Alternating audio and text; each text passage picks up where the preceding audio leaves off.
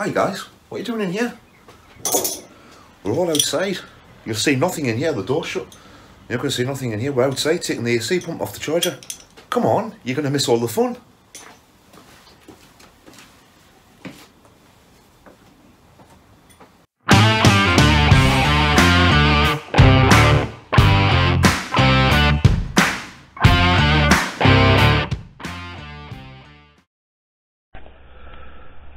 Right, so having got all of the uh, the radiators out, the water pumps off, the belt drives are all off, and uh, it's all fairly partly dismantled at the front of the car.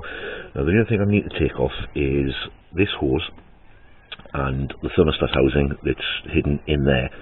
Now all of that sits behind this big, ugly air conditioning compressor. Now the aircon on this particular car isn't connected at all so this is just sitting here taking power and uh, performance away from the car.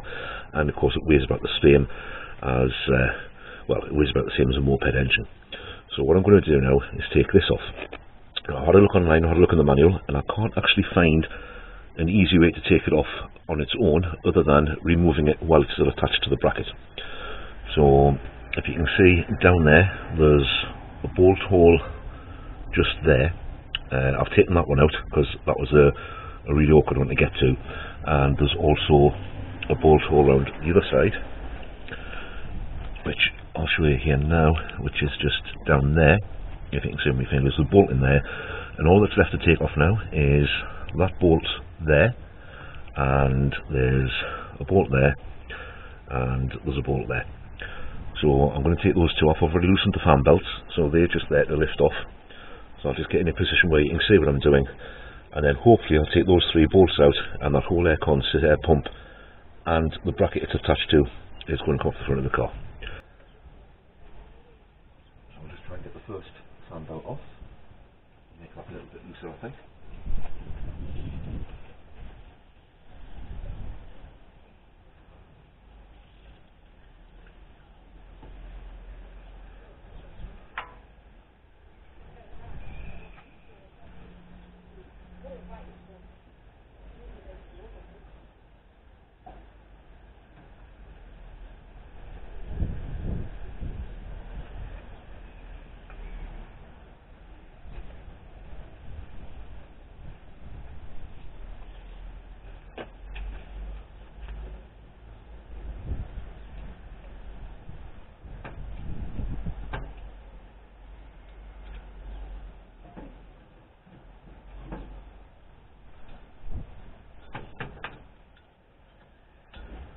Feels like those possibly were original belts were stuck in there ever so slightly, so they've probably been on here for quite a long time.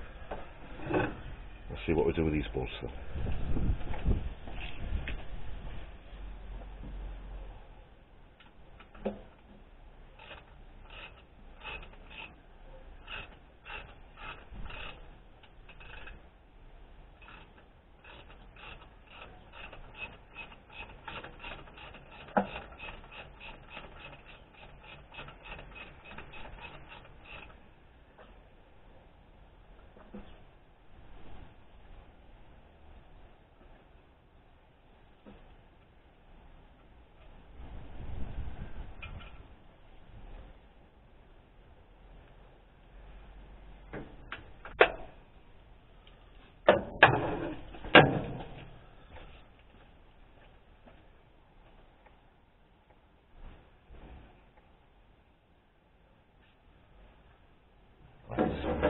Got that one bolt to come off now. Or two bolts I should say.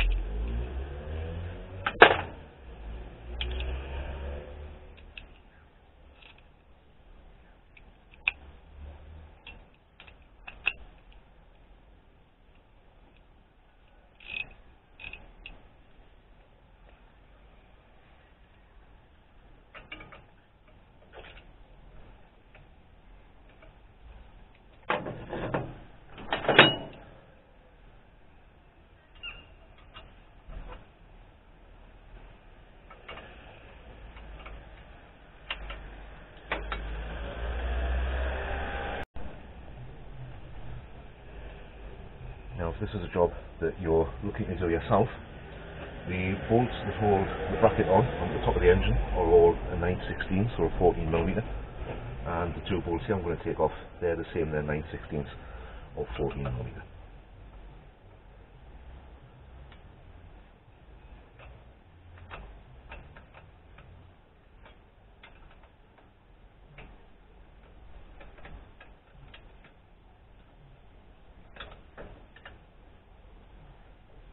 I think we'll just go there two. Of course, these two cables here, one's the earth clamp to go to the battery, and the other one's the earth clamp that goes from the bodywork of the car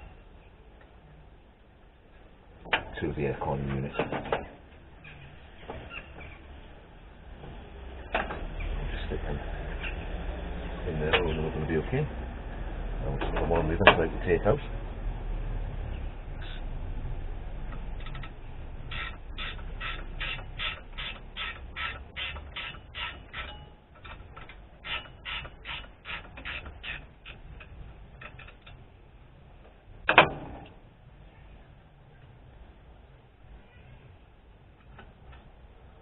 Now, if I've done it right, that whole unit should just lift off of there. It.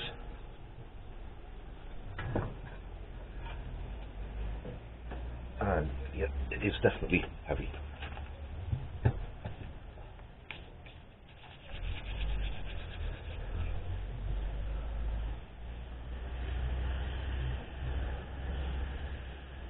But now that that's off the front of the car, as you can see, I can get easily to the thermostat housing and get this radiator hose off, which I'll take off now. Now we know that's done.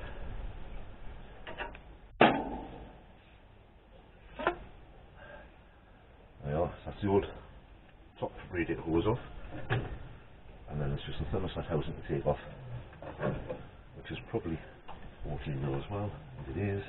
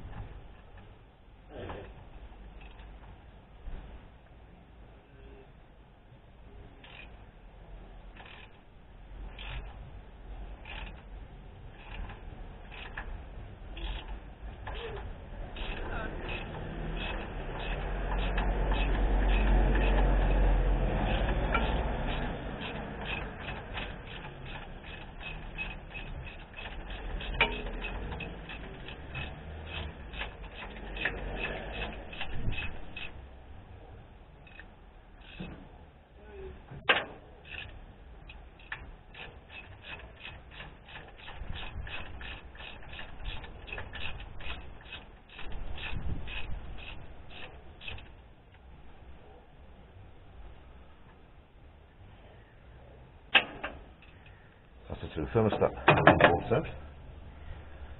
So clear it away for now.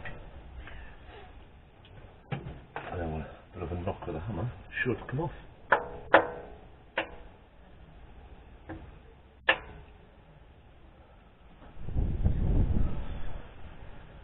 There we are. Judging by the looks of that, I'm thinking that pretty much would be the original thermostat housing from 1968, or the- well, the original thermostat, I should say, from 1968. But it doesn't matter because we've got a new one. So, a bit of cleaning up to do, and we're ready to put the new parts back into the car. So, just to show what we've done, now, I'll fit you in position so you can actually see it all here.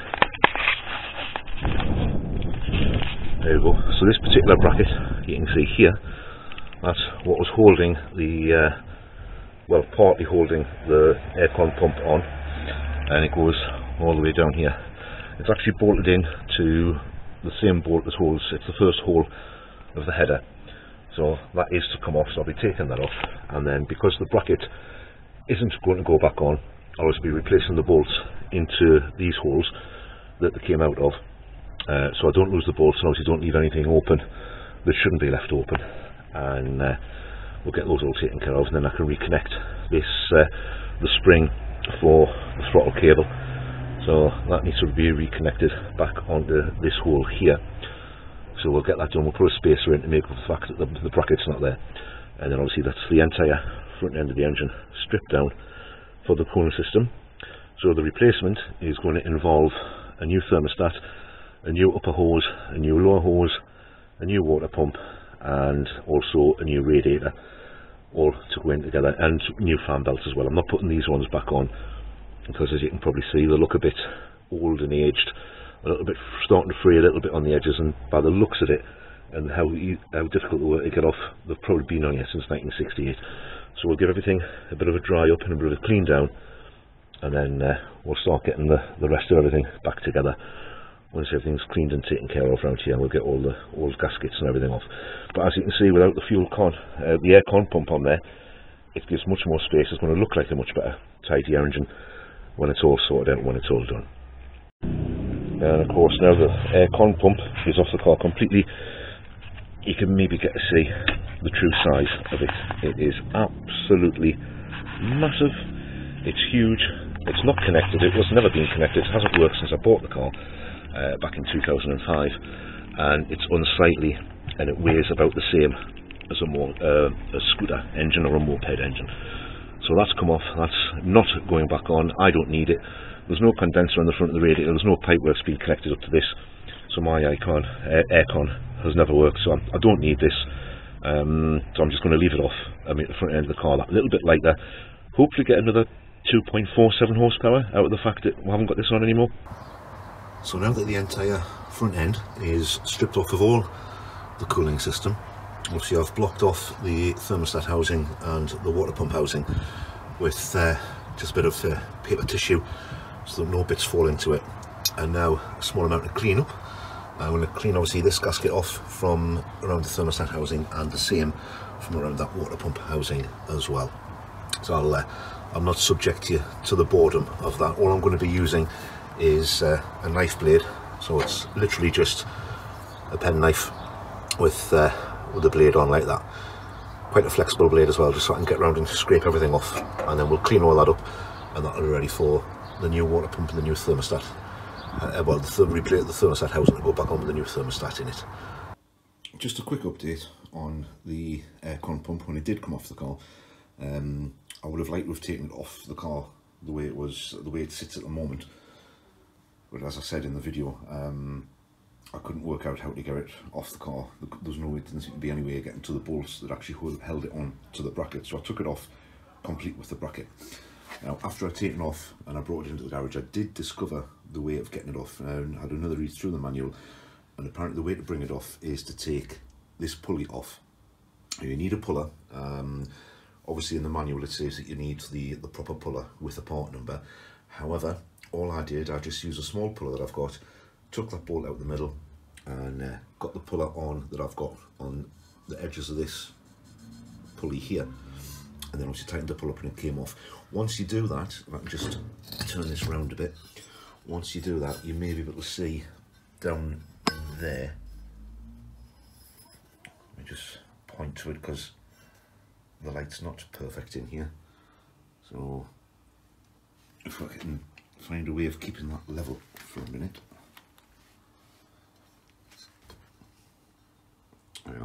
Now from here you should be able to see there's a bolt just there. Trying to get the, the light into it. But just down in there there's a bolt there. Now, there's three of them all together. There's one there, there's one underneath the pulley and there's one on this side here, actually behind the pulley. So I took the pulley off the front of it. Uh, you still can't get complete access to the bolts, so you can take the bolts all the way out, but you can get them loosened off. As you can see, if I move the thing a bit, as you can see, that's loose. So all I did was uh, loosen the bolts off until that's them on the back there. So as I said, there's there's one there, there's one there, and there's another one over there. Now there's only the three of them. But once they were loosened off, as you can see, that uh, gave me the ability of taking it off the bracket altogether and keeping the bracket for use, maybe to a later date on uh, on something else. So it does come off. Um, you do need a bit of a puller to uh, to get it off with. Uh, you don't need to have the one that's in, in the manual or the part number. You can just use any three-legged puller, uh, which I did at the time.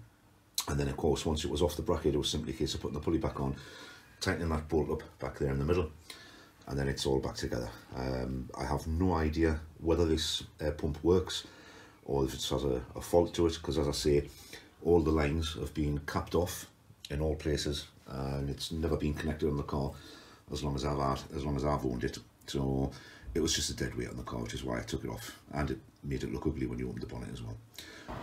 That's it then. That's all the cooling system taken off the front of the car, and uh, it's all sorted out, ready to start putting the new shiny bits on. So that'll be in the next part. So thanks for joining us on uh, Double Zero Garage this time round to see the removal of the aircon pump, and uh, look forward to seeing you in part three when we put everything back on, and hopefully we'll get the car up and running and we'll be able to take it out for a drive.